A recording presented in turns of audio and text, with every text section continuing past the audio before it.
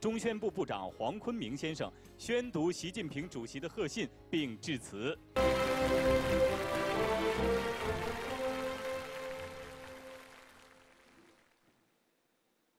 贺信支持首届全球媒体创新论坛召开之际，中方将为世界奉献一届简约、安全、精彩的奥运盛会。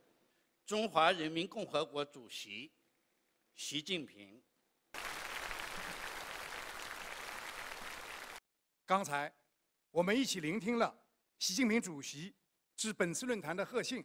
科技冬奥主题下，共同助力北京冬奥会。The forum has also received good wishes from other international organizations. The fact that I can only join you virtually Для меня большая честь обратиться к участникам этого форума в канун открытия в Пекине зимних Олимпийских игр. The Associated Press has covered the Olympics for our thousands of customers across the globe.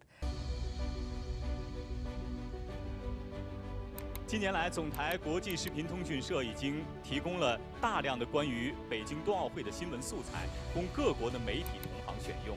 而从今天起，总台国际视频通讯社正式推出相约冬奥特别新闻服务，为全球媒体提供来自总台的新闻素材、记者连线等产品和服务。目前已经有来自六十四个国家和地区的八十四家媒体。与总台国际视频通讯社签约，将使用这一特别新闻服务报道北京冬奥会。